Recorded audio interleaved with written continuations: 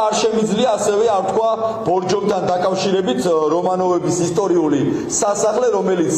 ნადგურდება. სახელმწიფო დაცვის სპეციალური სამსახური ისევ ჩვენი ინფორმაციით ამ ობიექტს და იქიდან მოპარულია მათ შორის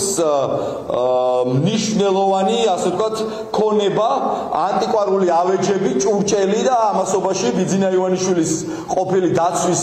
უფროსი სავარაუდოდ გარეული იქნება ამ კორუფციულ აღებ მიცემობაში და ჩვენ ცხადია ამ თემებთან დაკავშირებით კვალიფიციურ საგამოძიებო კვლევას ჩავატარებ და შემდეგ უკვე მიმართავთ პროკურატურას